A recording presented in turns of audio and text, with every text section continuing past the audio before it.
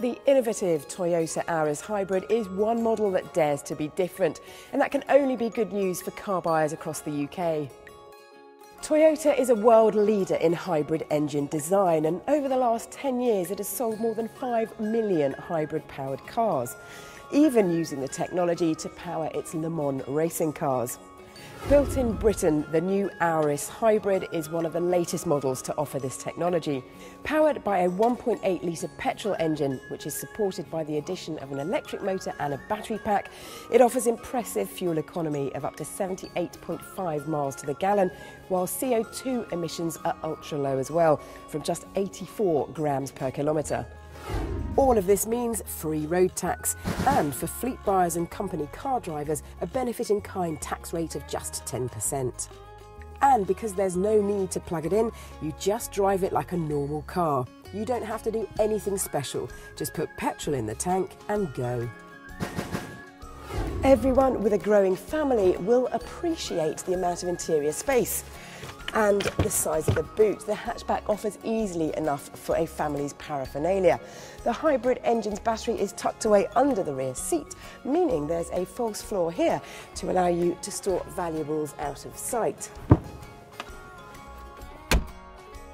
The battery is topped up both by the engine and by the car's regenerative braking system, which recovers energy traditionally lost to the ether as you slow down. Toyota's hybrid setup offers the best of both worlds, running economically in electric mode around town and giving a useful boost of performance once you're out of it. And then there's the design. First impressions count. And there's a lot of confidence in the aerodynamic styling that gives the car a robust, ready for action look.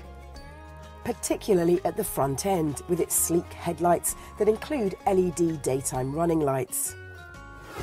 Inside, the new Auris Hybrid features little luxuries like soft touch materials and crystal clear displays.